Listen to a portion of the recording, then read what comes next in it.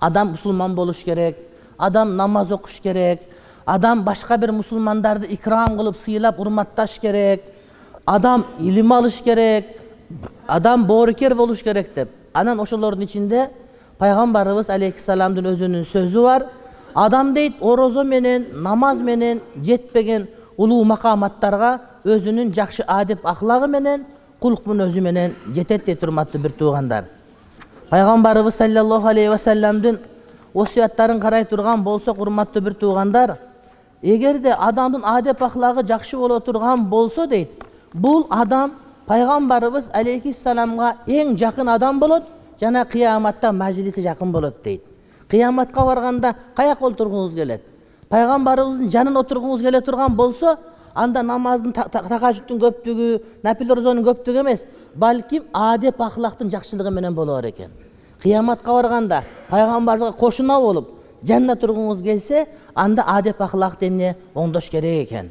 пайгамбарыбыз саллаллаху алейхи вассалам айтат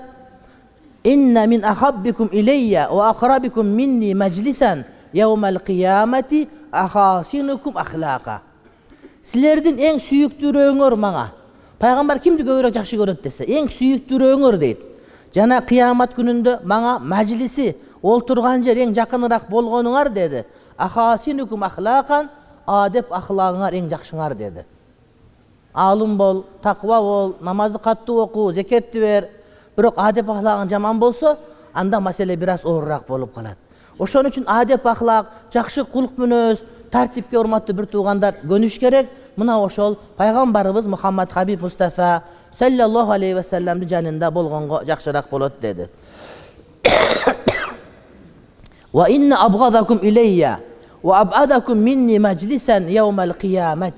эми мен эң жаман көргөнүңөр мага эң жаман көрүлгөнүңөр жана кыямат күнүндө менден алыс болуп олтурганыңар ким билесиңерби деди ал деди ассарсаруна ассарсаруна урматтуу бир туугандар булар эмне урматтуу бир туугандар өтө көп сүйлөгөндөр сөздү сүйлөгөндө өзүн кыйнап сүйлөй бергендер эми бар сөзүңдү куюлтуп сүйлөп берсең жакшы бирөөлөр сүйлөгүсү келбейт сүйлөгөндү билбейт бирок өздөрүн кыйнап отуруп көп сүйлөгөн адамдар деди мына ушулар пайгамбарыбыз жактырбайт жана пайгамбарыбыздын мажлисинен алыс боло турган адамдар муташаддикуна дегендер урматтуу бир туугандар чеченсинип сөздү билген киши болуп сөздүн гүлүн тандап сүйлөгөндөр дейт палван ооздор колунан иш деле келбейт бирок оозун карап олтурсаң оозу менен оро коргондор бар. Мына ушуларды дагы пайгамбарыбыз жаман көрүп жана мажлиси алысыраак болот өзү турат маршруткада.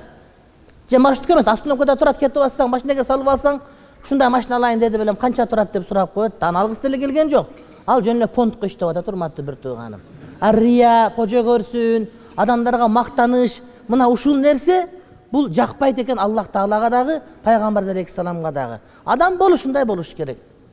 Адам болушундай болуш мына үй салган азаматыбыз атым айтпагыла үй берген адам атым айтпагыла деди үй тойго дагы келген жери жок башка дагы кылган жери жок атым айтпай эле койгула кудайым билсин вал мутафайхикуна үчүнчүсү мутафайхикун булар кимдер мутакаббирун бой көтөргөн адамдар деди бир адамдар бой көтөрүп башкаларга кыйын болуп аларды тоготпой текеберленсе муну дагы пайгамбарыбыз жаман көрөт экен жана пайгамбарыбыздын мажлисинен алыс жерге барып олтурат экен ага жакын боло албайт экен казанга жакын болсоң көз чыгат дегенде аларды пайгамбарыбыз жанына олтургуза албайт экен урматтуу бир туугандар үч нерсе ушул үч нерсе пайгамбарыбыз жаман көрөт экен анан адеп ахлагы жакшы болгонду пайгамбарыбыз жакшы көрүп жанына урматтуу бир туугандар олтургузат экен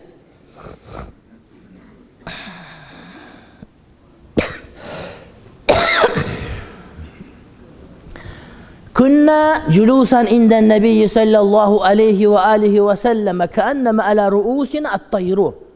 ما يتكلم من أحد إذ جاءه أناس فقالوا من أحب عباد الله إلى الله تعالى؟ فقال صلى الله عليه وسلم أحسنهم خلقا. Hazreti Usama ibn Şarik aytat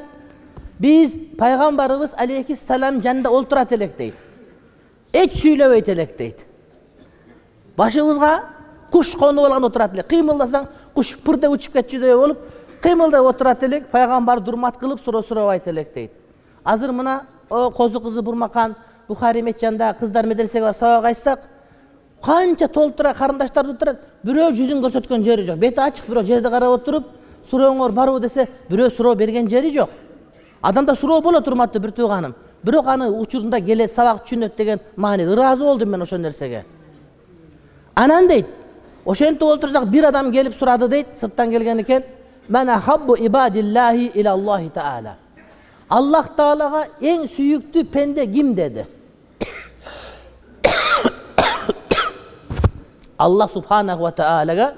эң сүйүктүү пенде ким дегенде пайгамбарыбыз саллаллаху алейхи жооп берди. Ахсанухум хулука адеп ахлагы жакшы болгону деди демек адеп ахлак кулук мүнөз жакшы болсо мына ушул адамдар кудайдын дагы эң сүйүктүү пендеси болот экен урматтуу бир туугандарым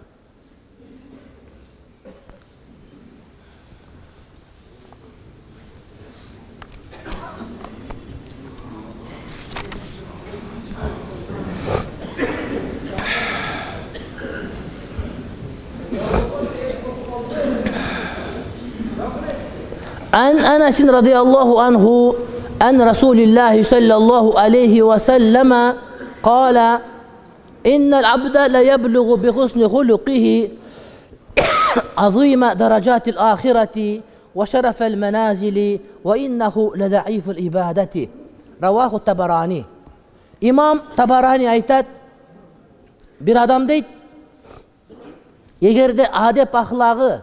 xulq munozi адеби жакшы боло турган болсо ошол адеп ахлагынын жакшылыгы менен бул кыяматта бийик макаматтарга бийик даражаларга жетишет деди ошондой эле бийик даражанын ичинде дагы эң бийик кадырлуу жайларга бул адам жетишет деди мунун ибадаты алсыз болсо дагы дейт ибадат дегенде беш маалын окуйт бирок нафилдер азыраак нафил садакаттар азыраак адеп акылагы көп деди бир адам nafilleri ko'p bo'ladi adep akılak jaman bo'ladi yo'q andan ko'ra adep akılak yaxshiroq qilganing bu emne eng yaxshi dedi. Payg'ambarimiz sallallohu alayhi vasallamdan so'rashdi.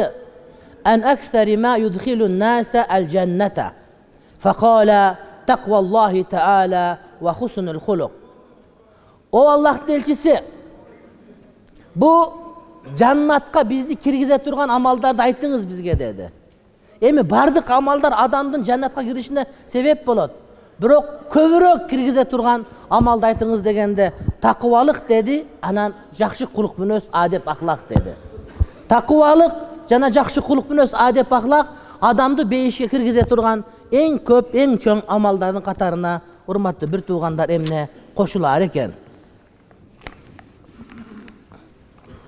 пайғамбарымыз саллаллаху алейхи уассалам айтады иннакум лан тасау наса би амваликум уәләкин минкум бастул уәжхи уа хуснул хулуқ о адамдар дейді сілердің бардығыңар бардық адамдарды мал мүлкі менен ыраазы қыла албайт дейді бардығына бере албайсыз бардығын тойғыза албайсыз той чакырсаңыз жарымы қалып қалады пакет берсеңіз дагы бербей наразы болады бир адам өзүнүн мал мүлкү менен бүтүндөй адамдардын баардыгын камтып ала албайт дейт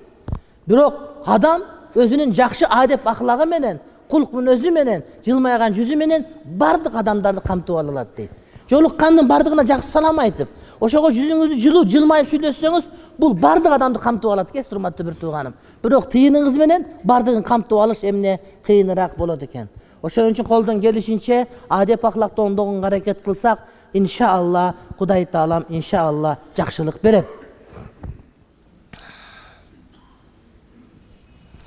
пайғамбарымыз алейхисалам айтады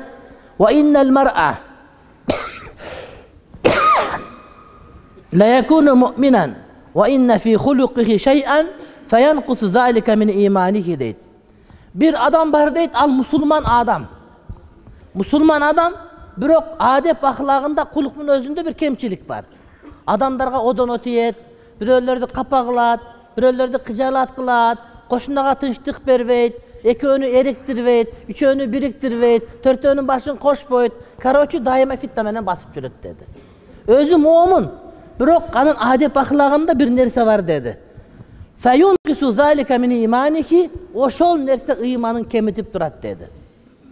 Демек урматтуу бир туугандар адеп ахлагы құлық өзі, жаман болған адамдарды иманы мүкәммәл толық деп айта екен екенбіз анткени жаман әдеп ақлақ адамдың иманын кемітіп тұра тұрған бір қасиетке өзгөчөлүккө ээ болор екен пайғамбарымыз Мухаммад хабиб мұстафа саллаллаху алейхи уассалам айтат әл хулукул хасану юзибул хатая кәмә юзибул жалида والخلق السوء يفسد العمل كما يفسد الخل العسل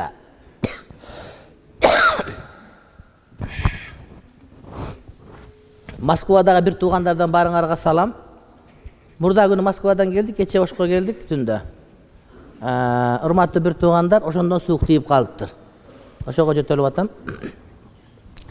ал хулукул хасан жакшы кулук мүнөз дейт бул күнөөлөрдү ээритип жиберет суу музду ээриткендей сууга музду салып койсоң муз дароо ээрип жок болуп кетет го жылуу сууга муз салсаң ошондой эле бир адам күнөө иш кыла турган болсо ошол күнөөлөрүн кулук мүнөз жууп кетирет дейт жаман кулук мүнөз дейт бул асалга уксус кошуп койсоң уксус асалды бузуп жибергендей адамдын амалдарын бузуп жиберет дейт бир пилек асал бар бир фляга ошол асалга бир кашык уксус куюп койсоңуз асалдын кана байранын чыгып асал брак болуп калат. Мына ошол сыяктуу жакшы амал кылган адамдын кулук мүнөзү жаман болсо мына ошол жаман кулук мүнөз ошол амалдарын адамдыкын бузуп коет деди. Демек бир адамдын кулук мүнөзү жаман болуп адамдар жакшы көрбөй турган болсо анда ошол адамдын амалы эмне жакшы эмес нерселерге алып бара турган болот экен. Кудай таалам ошол нерседен биздин баардыгыбызды урматтуу бир туугандар сақтасын. Әзіреті пайғамбарымыз мұхаммад хабиб мұстафа саллаллаху алейхи ва уассалам айтады құрметті бір туғандар. Әлә унаббиукум бима юшаррифуллаху тағала бихил буньяна уаярфаху бихи даражат хабар берейін бе үмметім деді пайғамбарымыз алейхисалам аллах тағала үйіңерді биік қылып кадырыңарды бийик кыла турган бул деген бейиштеги үйүңөр бийик жерде болуп анан ошол жерде кадырыңар бийик болуп бейиштин бийик даражасына кире турган нерсени айтайынбы силерге деди сурап алыш керек да элдер бәлә я расулаллах наам деди айтыңыз деди пайгамбарыбыз адамдарга дароо айтпайт эле адамдарды даярдап туруп айтат эле айтайын ушуну каалайсыңар дейт эле адамдар ойгонуп көңүлдөрүн бөлүп соткаларын өчүрүп анан угушат эле анткени камера тартып турат да анан ооба дегенде айтты пайгамбарыбыз алейхисалам тахлуму ала мен жахила алейка сага бирөө туура эмес мамиле кылып койсо ошондон өч алыш колуңан келет тартипке чакырып коюш колуңан келет ошону кечирип жиберип мамиле кылганың деди эмне нерсе менен даражаң бийик болот десе айтат пайгамбарыбыз алейхисалам сенин укугуңду тебелеп бир азыраак адеп ахлаксыз мамиле кылып койгон жахилдик кылып койгон адамды кечирип жиберүүң деди жөн кечирип эмес аны кечирбей койгонго өч алганга куп колуңан келип турат бирок ошого карабастан аны мейличи деп тим койдуң мына ушул биринчиси начальниктер чоңдор күчү барлар машинеси чоңдор бечара тикон тебелеп өтүп кетейин дейт да антпеш керек да өткөзүп койгон башка кылган таксыр майли майли деген нерсе урматтуу бир тууганым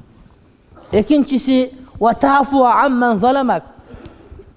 сага зулумдук кылган адамды кечирип жиберүүң деди зулумдук кылды жериңи тартып алды башка кылды жолдон жол бербеди сени короче кордоду ошол адамды кечирип жиберсең а кудайым сенин даражаңы бийик кылат деди сага бербей койгон адамга берүүң деди туугандарың сага жардам бербейт башка кылбайт сен кембагал элең студент элең эми сен байып кеттиң байып кеткенден кийин кудай таалам сага берди сен сага бербегендерге бер деди сага бербегендерге берсең ана кудайым сенин кадырыңды көтөрөт сен жаманды көрбөйсүн деди пайгамбарыбыз алейхисалам сенден мамилени үзүп койгон туугандарыңа мамилени жандантып кайра катташууң деди э бул дааватчы тоготпойбуз э бул фундаменталист болуп кетейин деп калган бул молдо же бул камбагал же ондой мындай деп туугандарын катташпай кыйындары бар. Өзү менен тамак жейт да шаарга эки жыл мурда келип калган бул сассыз айылдан келген дейт сага катташпай үзүп койду мамилени анан сенин күнүң чыгып колуңа карга чычып көчөңдө майрам болуп бай болуп жакшы болуп адам болуп калганыңда сен улант мамилени сенден ким мамилени үзүп койсо үзүлүп жүрө бербе сен башта кайрадан сенин кадырың бийик мени менен мамиле кылбайт мен дагы кылышпайм мамиле мен катташпайм деген туура эмес маселе эки адам урушуп кетсе биринчи салам бергени бул акылдуурагы сен акылдуураак бол адептүүраак бол кудайдын астында кадырың бийигирээк болсун азирети пайгамбарыбыз мухаммад хабиб мустафа саллаллаху алейхи вассалам айтат урматтуу бир туугандар قال رسول رسول الله صلى الله عليه وسلم للأشج أشج ابن عبد القيس لما وفدوا على رسول الله صلى الله عليه وآله وسلم قال له إن فيك لخصلتين يحبهما الله ورسوله أي أشج عبد القيس senin iki kasiyetin var. Uşul iki kasiyetini Kudayım yakşı görürdü. Азыр ушул эки касиет бизде барбы жокпу дегенди карап тургула. Кайсы эки касиет? Кудайым ошол Ашаждын эки касиетин жакшы көрөт экен. Ушул эки касиет хислат бизде барбы жокпу? Биринчиси ал-хилму. Ал-хилму деген эмне? Бирөө сени капа кылса,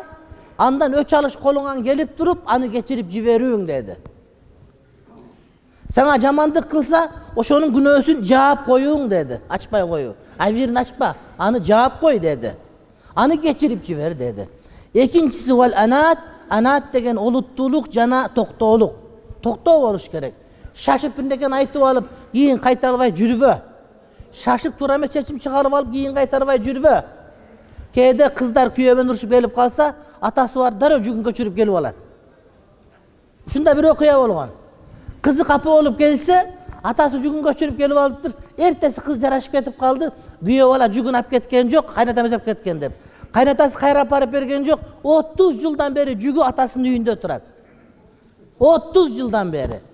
а кыз таарынып кайра келсе эртең кайра кетет күйөө баланын ичине кулагынан чоюп чөнтөгүнө пулдан салып сүйлөп ыраазы кылып кызды ыраазы кайра кетириш керек болот отуз жылдан бери себи турат үйүндө бала алып келбе дейт экен кайнатам алып келип берсин дейт экен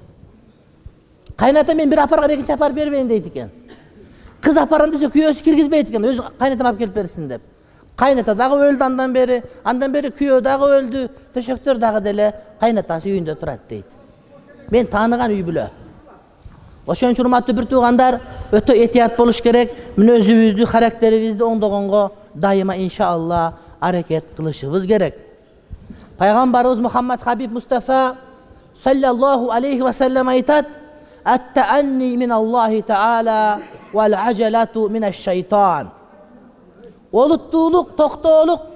ар маселени олуттуулук менен чечүү мына ушул аллах тааладан болгон жакшы бир сыпат деди ал эми шашылыш бул шайтандан ошон үчүн кандай иш болбосун шашылбаш керек. Шашылбастан туруп чечим чыгарганга аракет кылсак иншалла кудай таалам баарыбызга береке берет. Пайгамбарыбыз саллаллаху алейхи вассалам айтат ман юхраму рифку юхраму ал кимде ким? Кайсы бир адам жумшактык сылыктык мамиледен кур жалак калса ошол адамда сылыктык деген адеп жок болсо жумшак боло албаса сүйлөгөн сөзүндө адеп акылагында бул адам жакшылыктан куржалак калыптыр дейт яғни кимдин жумшактык насибесинде болбосо сылыктык анда бул адамдын насибесинде жакшылык дагы болбойт дейт урматтуу бир тууганым биздин эркектер көчөдө жүргөндө баардыгы жентельмен үйгө барганда өй катын деп аялдарга катуу айтат көчөдө жыртайып ар кимге күлүп сүйлөп отуруп беттери көздөрү ооруп калат ооздору минтип отуруп а үйүнө барганда өзүнүн жуфту халалине күлүп караган колунан келбей калат ө деп кыйкырып аты жок ө дейт атын унутуп калган жаңы үйлөнгөндө уккан бир анан атын айтпай ө деп жүрүп аты ө болуп калган ө дейт балдарына жакшы мамиле кылбайт бир адам пайгамбарыбыз алейхисалам хасан хусейн небересинин жүзүнөн өөп тизесине олтургузуп эркелетип атса е аллахтын элчиси астагфирулла он балам бар он баламдын бирөөсүнө тишимин агын али көрсөтө элекмин деди дегенде пайгамбар алейхисалам айтты мен ла ярхам ла юрхам кимде ким ырайым кылбаса ырайым кылынбайт деди сенин жүрөгүңө кудай таалап ырайымдуулук жумшактыкты алып койсо мен эмне кылайын деди ошон үчүн тууган урукка коңшу колоңдорго айрыкча үй бүлөбүзгө жакшы адеп ахлак кулук мүнөздө болушубуз керек аллах тааланын аманаты менен алган аялдарыбызга жакшы сүйлөп алардын көңүлдөрүн көтөрүш керек уламалар айтышат аял киши тамак ашка кийим кечекке үйгө муктаж болгондон да көбүрөөк эркектин жакшы сөзүнө муктаж болот экен көбүрөөк эркектин эмне? Жакшы сөзүнө муктаж болот экен.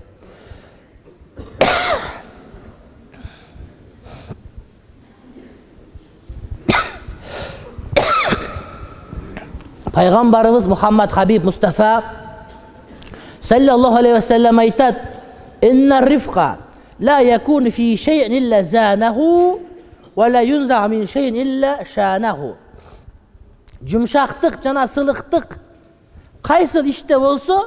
ошол иштин көркүн чыгарат дейт молда болсоң сылық болсоң молдолуктун көркү чыгат доктур болсоң сылык болсоң доктурлуктун көркү чыгат ал эмес мешіттің қарауылы болып сылық болсаң мешіттің қарауылшылығының көркі шығады урматтуу бір туғаным ал эми одан олық кайсыл иште болуп кайсыл иштен сылыктык тартылып алынса ал иш көркүнө чыкпайт одоно көрүнүп калат дейт жанагы исламды үчкө бөлүп биринчи бөлүгү ыйман экинчи бөлүгү ислам үчүнчү ихсан деп айтабыз биринчисин ыйман деп айтабыз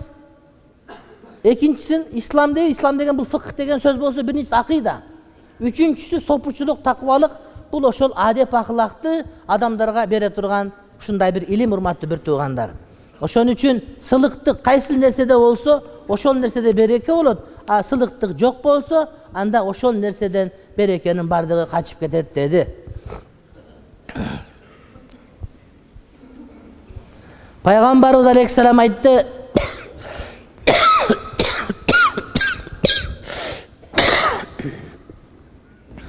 Саласун نشر الله عليه كنفه أي أخاطه بحفظه وأدخله جنته үш түрді адам бар деді үш түрлі сыпат үш түрлі адеп ақылақ құлық мінөз бар деді кимде ким ошол нерсени кармана турган болсо кудай таалам аны өзүнүн коргоосуна алып бейишине киргизет деди эй адамдар адамдар күнүгө өлүп атышат адамдарга оору тарап өлүп атышат сактаныш кыйын көп нерседен бирок сактангың келсе кудайым өзү сактаганын каалай турган болсоң үч нерсени бекем карман кудайым өзүнүн хифзи химаясын алат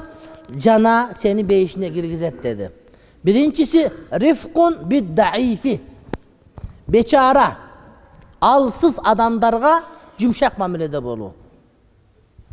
чоңдорго ансыз деле жумшаксың бір тақсырды білем оозунан энең байтал чыкпайт энең байтал энең байтал сөгүнүп сүйлөйт да мен айтам ай сөгүнбөй эле сүйлөбөйсүң десең айтат мен көнүп калгам ушуга дейт бир адам айтат да анан бир күнү чоң адамдар менен тамак жеп калдык элек баягы сөгүнгөнү сөгүнгөнү жок эй жүдө чырайлуу көркөм сүйлөп атып мен айттым да э сөгүнгөн жокко десем кантип сүйлөйсүң булар арасында адам ушундай да адам өзүнөн кембагал өзүнөн бечара өзүнөн кичинекей өзүнөн төмөн турган иши бийик эмес болсо алардын көзүнчө грубия деп сүйлөй берет анан өзүнөн кыйын бирөөгө барса супер сылык болуп кетет да ошон үчүн чоңдорго сылык болуп кичинелерге кыйын болгондорго эмес балким алсыз адамдарга сылык болгон адам деди студенттерге кошуналарга кол аста жумуш кылгандарга кореяга бардык түштүк кореяга барсак ошол жерде начальник ошол өзүнүн кызматкери менен чогуу эле иштей берет экен бизде төрт начальник карап бир рабочий иштейт аларда баардыгы рабочий деп ойлойсуң чоңун ким десең бирөө жыгып мен дейт окшойт айырмасы жок ошон үчүн кол астындагыларга карагандарга алсыздарга жумшак мамиле кылган бул кудайдын хифзи химаясында сактоосунда жүргөнгө себеп болот экен экинчиси ата энеге мейірмандықта болу кээ бирлер намаз окуйт ата энеге жакшылык кылбай коет да ата энеге жакшы сүйлөбөйт ата энеге ырайым мээрим кылбайт кээ бир адамдар ата эненин урматын жайына койбой коет ошон үчүн урматтуу бир туугандар аллахтын хифзи химаясында болуп жаннатка киргиси келген адамдар ата энесине шафакат мээримдүү болсун кичипейил болсун ага айына берген беш миң сом менен бүтүп калды дебестен анын көңүлүн алып ага мээрим кылып анын ыраазы кыл мына ошондо кудай таалам өзү сени хифзи химаясына алат атаң бар ал да бир күн аманат энең бар ал да бир күн аманат ата энеси бар туруп бейишке кире албаган адам бейишке вообще кире албайт дейт пайгамбарыбыз анткени ата энесине жакшылык кылбаган башка бирөөгө жакшылык кылбайт урматтуу бир тууганым ошон үчүн ата энесине жакшылык кылбастан аларга грубый одоно мамиле кылгандар менен катташпаш керек. Ал эртең өлүп калышы мүмкүн анткени кудай таалам аны сактабайт. Ата энеңе жакшы мамиле кылып атасыңбы? Демек сага жакшы мамиле кылганга арзый турган адамсың деген сөз болот. Өзүнүн кулуна. Же болбосо кол астындагы кызматкерине жакшы мамиле кылып аларга кичипейилдүүлүк менен мамиле кылган. Жалгандан жакшы болуп калсаң ал билинип калат чында ошондо от души. Жүрөктөн чыккан мындай бир мамиле менен боло турган болсоң иншалла кудай таалам жакшылык берет.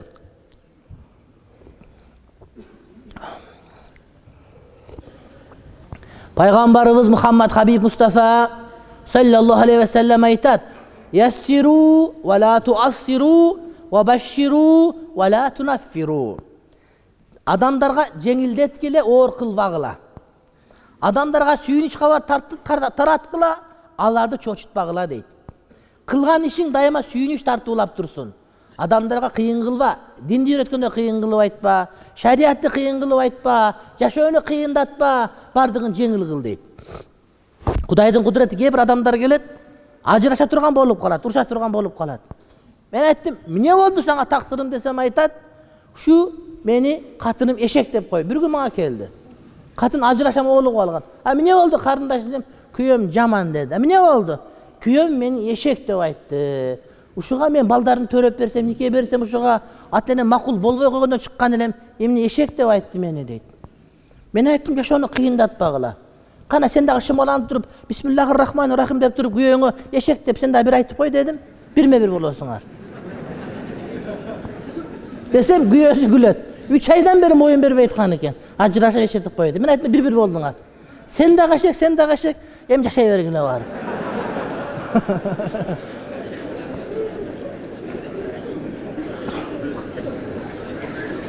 ошого жашоону кыйындатпаш керек.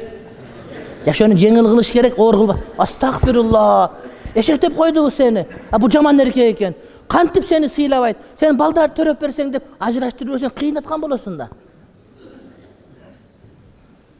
Анан кайра кеттик эми бириңе бир бир болуп кечирим сурагыла дедим антип айтпай калсам экөө тең туруп бири биринен кечирим сурап анан ээрчишкен бойдон кайра кетти анитен карап турсам экөө кол ташып кетип атты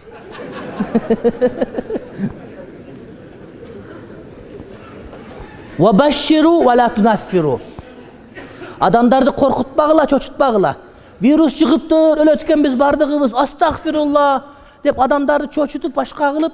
жүрөгүн түшүрбөш керек адамдарга реалдуу сүйлөш керек адамдарды качырбаш керек урматтуу бир туугандарым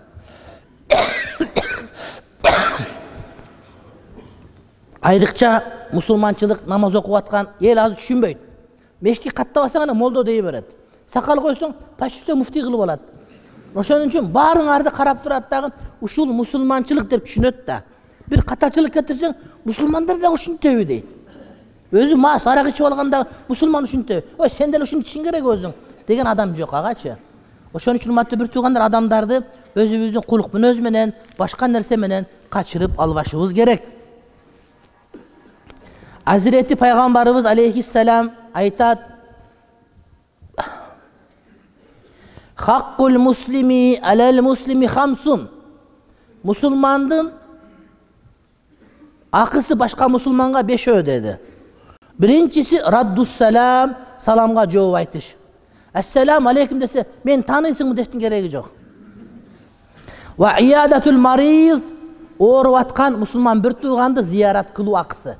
эгер уксаң зыярат кылыш керек бирок барып алып бир саат отуруп бүчү бүчү сүйлөбөстөн барып хадияңа беріп ой жакшы болуп калыпсыз өңүңүз жакшынакай экен эй жакшы экен доктур дагы айтты мага деп жалгандар анча мынча кылсаң халал боло берет ошол жерде. Көңүлүн көтөрүп тезирээк кетип калыш керек чөнтөгүнө пулдан салып туруп анан жебей турган кытайда алмат апа тиштин тишиң калып калат ошол жакта анын кереги жок ошого бере турган жей турган бир нерсени берип акырын ошол жерден эмне басып кетиш керек жаназаны ээрчүү адам мусулман адам өлүп калса жаназаны ээрчиген биз ээрчибей калдык жаназаны окуйбуз дароо куран окуп кетип кала турган болуп алдык акысы ээрчип барыш жаназаны көмүлгөнгө чейин урматтуу бир туугандар басып барып көмүш керек а биз көмбөй калдык үйгө келебиз куран окуйбуз дагы ишибиз бар эле ишиң каяка ишиң бар сеники согуп алганы келдиң го сен деле ушинтесиң ошон үчүн урматтуу бир тууганым жегенге шашылбаш керек жебеш керек ал жеген оокат макру арамга чейин барат жаназаны ээрчип барып көмүп анан кайра кет үйүңө кет сразу кайра келип тамак жеп отурба чакырыкка жооп бериш той кылып чакырса чакырыкка жооп берип келиш дагы мусулмандын акысы атис чүчкүрсө чүчкүрүүгө жооп берүү деп чүчкүрүп туруп альхамдулилля деген болсо аллах таала сени ырайым кучагына алсын деп ага жооп берүү урматтуу бир тууганым мына ошол мусулмандын мусулманга болгон акысы пайгамбарыбыз мухаммад хабиб мустафа саллаллаху алейхи вассалам айтат айюханнас о адамдар дейт айюханнас о адамдар чай барбы дейт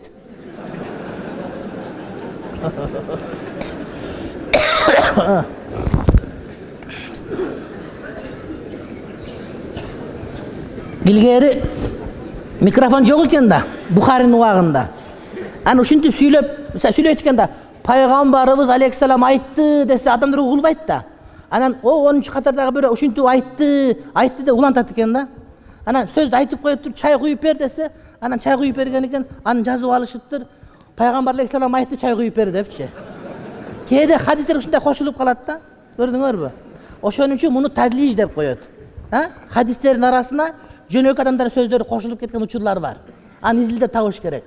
Бир шагирт отурат экен астында пайгамбар алейхисалам айтты деп коюп туруп айтты кимде кимдин тахажуду бар болсо жүзүндө нуру бар болот деп бир шакирттин жүзүн көрүп айтты да айтса аны бирөө жазып алыптыр пайгамбар ушинтип айтты депчи ал хадис эмес ал хадис айта элек эмиңче наракка жеткирген кабарча жеткиргенге чейин сүйлөп атат деген ушундай учурлар кээде келип калат аны бирөө билбегендер хадис деп айта берет да аюханнас о адамдар афшуссалам саламды ачык айткыла саламды жайылткыла салам деген ынтымактык амандык тынчтык ошону жайылткыла бирөөгө ассаламу алейкум десең мен мусулманмын мен көтөрүүчүмүн тынчтык жеткирүүчүмүн алейкассалам сага тынчтык болсун алланын аманчылыгы болсун менден жамандык күтпө деген сөз болот афшуссалам аш бергиле атаңарга аш бергиле атаң өзү өлүп калган жебейт бирок элди чогултуп аш бергиле тамак бергиле медресеге аш бергиле мечитке аш бергиле талабаларга бергиле кембагалдарга бергиле курсактарын тойгузгула деген сөз болот василул архам тууган уруттар менен катташкыла мамилени үзбөгүлө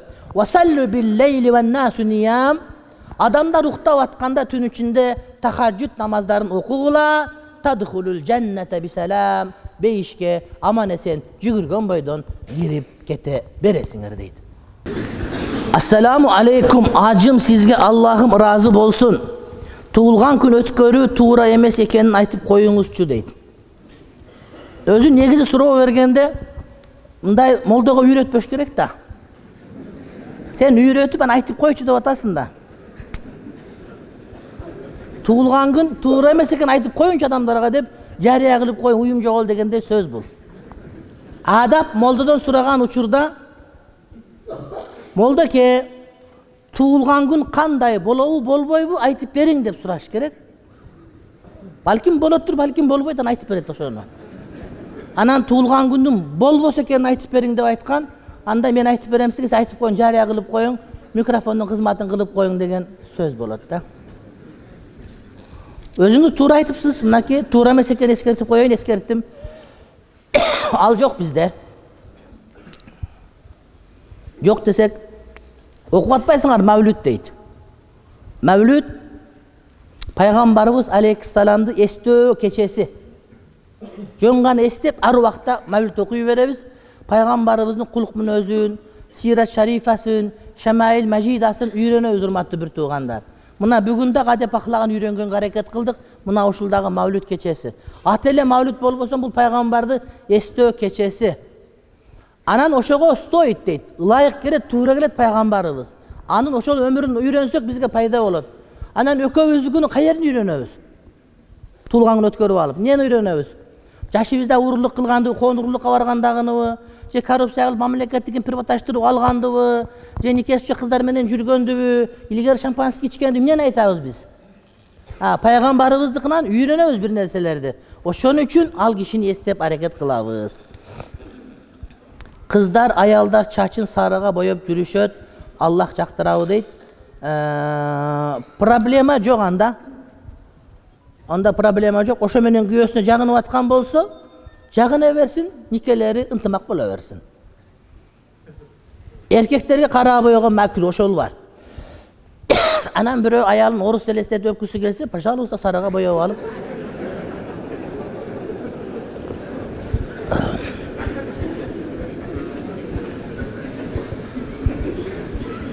биякта бирөө телефондон суроо жазган экен мен сиздин телефонго байланышам анткени убакыт жок бүгүн жерден чыгып эле медресеге медреседен чыгып ноокатка кетебиз ошого жеке байланышканга убактым жок телефонду алып алдым. Менин суранычым бүгүнкү жалпы жамааттан бир дуа алып бериңиз дейт апам алымжан дейт иншалла дуаны кылабыз жалпыбыз талак маселесине мастураты менен келдик эле качан кайсыл жерде сизге жолуксак болот кечээ кабыл алдым кечээ келсеңер жакшы болмок эми бүгүн ошо мен келем дегенде убай казыга байланыш керек убайдыл адамдар чакырат бизди анан чубак ажыга жолуксак болобу десе бул убакыт түзүп берет анан сабакка келген жерден келип жакадан бууп калган менен андай болбойт урматтуу бир тууганым тартиптер орду менен келет карыз алып анан атайлап бербей качып жүргөндөрдү тиги дүйнөдө кандай жаза күтөт кененирээк токтолуп кетсеңиз дейт карыз төлөгөнгө кудурети болуп туруп төлөбөй жүргөндөр булар өздөрүнө кембагалчылыктын томаяктыктын итке мингендиктин эшигин ачып алат дейт кимде ким карыз алып карыз бергенге дарамети жетип турса бул адам бербесе анда кыямат абалы оор болот анан бул дүйнөдө өзүнө жардылыктын эшигин ачкан болот мутил деп коет мутил мутил кыямат абалы оор болот бригада болуп иштейбиз устачылык кылабыз бригадир өзүм инструменттердин баары менде бузулса сынса өзүм оңдойм жалпы түшкөн акчадан инструмент үчүн он процент алам калган сумманы канчадан болсо тең бөлөбүз суроом он пайыз инструмент үчүн алган акчам адалбы адал? Адал? Ошону кеңешип баарын айтып туруп ошого алсаңыз адал. Анткени сиз бригадир сиз жооп берет ошол нерсеге сизден сурайт башкалар кетип калышы мүмкүн демек ошонуңуз адал. Азыркы учурда элдер тажияга барышып ашын жеп жаназага да турбай акыркы сапарга да узатпай үйлөрүнө шашышат илгери ата бабаларыбыз майт жерге коюшмайынча куран окубайт эле азыр майит үйүнөн чыкты куран окушту башташат топурак салганы элүү алтымыш адам араң барат жалал абадтан беgali дейт жалал абадтар ушундай болуп кетиптир да астагфирулла негизи биздин китептерде өлүк жерге түшмөйүнчө топуракка көмүлмөйүнчө куран окулбасын деген сөздөр бар. Бар ошол сөздөр ошол бар экендин далили эмне үчүн адамдар толук көмүсүн көмбөй кетип калбасын деген сөз да а биздики үйдөн чыгарып коюп туруп куран окуп туруп кайта беришет эми зыяны тийбейт бирок окулбасын деген шарияттын бир жобосу бар урматтуу бир туугандар биздин үйдө тынччылык жок дейт атам ичет дуба кылып коюң дейт смарт рич компаниясын уктуңуз беле кыргыз жигит ачкан продукциясы чай кофе крем көптөгөн ооруларга дары мен өзүм эле результатын көрдүм дейт шамил жүз пайыз халал деп атаган дейт сеники дагы реклама экен ушул чыгарып коюш керек болгон шамил айтса шамилди уга бериш керек эгер чоң аалым шамилди урматтайбыз сыйлайбыз а бирок биз бул компания менен иштешкен жокпуз фатва берген жокпуз продукцияда маселе жок адал болуп чай кофе бирок ошону сатып алуудагы жанагыдай пирамидалык эмне деп коет ошону сетевой маркетинг деп коет жанагы тармактык болуп туруп кетсе тармак болуп анда ошондо адамдар иштебей туруп акча ала турган болуп калган жери арам болот ага чейинкиси адал деп айтып жүрөбүз анан эми шамил чоң аалым балким бир убак келип баардыгыбыз шамил хазраттын сөзүн туура деп ээрчип каларбыз азырынча ээрчие элекпиз насыбай арам дедиңиз го насыбай чеккен адамдын намазы кабыл болобу дуасы кабыл болобу дейт насыбай макру арамга чейин барып такалат эми кабыл болгонун кудайым билет бирок биз айтабыз адам дуа кылганда күнөөдөн арылып дуа кылыш керек деп айтабыз да эми макру экендиги жетиштүү бизге ошону чекпегенге аракет кылыш керек эркек жубайына таптакыр талак берем деген ниети жок бирок кокустан уктап жатып же түшүндө жубайына талак деп айтса эмне болот эчтеке болбойт уктап атып сүйлөгөндүк эчтеке болбойт ит сасса болобу дейт болот эгерде ошол итти аңчылыкка уучулукка мал караганга үйгө кароолчулукка алса анан бүлү бүлү деп көтөрүп бага тургандыкка алса бул арам болот. Ит ошондо муктаждык болуш керек. Үйгө ууру кире турган болуп кисабирлер көбөйүп кетсе жан башын жүзүп алып ит бакса болот. Мал кайтарганга болот уга чыкканга болот кой кайтарганга болот эгин талак кайтарганга болот. Андан сырткарына сатып алган дагы саткан дагы арам болуп эсептелет. А мындай адал болот. Арак насыбай тамеки саткан адамдын үйүнөн аш жесе болобу дейт макру кредит берген жерлерде ал жакшы эмес акыркы сурообуз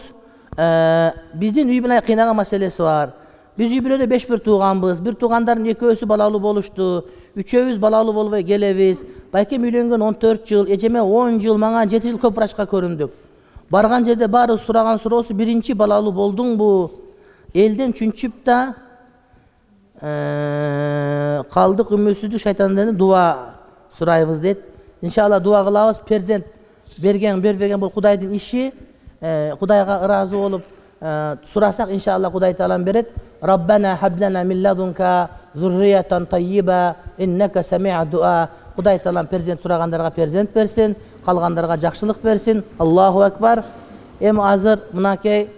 казы экебиз убайдулла казы экебиз аллах ыраазы болсун ушул кишини тарбиялап өстүргөн атасы аалым адам эле арбагы ыраазы болсун ушул жерде көп иштерди кылып атат көрүп атабыз анча амча жаман дегендер аны билбей жаман дегендер көрбөй жаман дегендер абу ханифаны деле жаман деген бирөөлөр анткени көрө албайт эле акысын биле албайт эле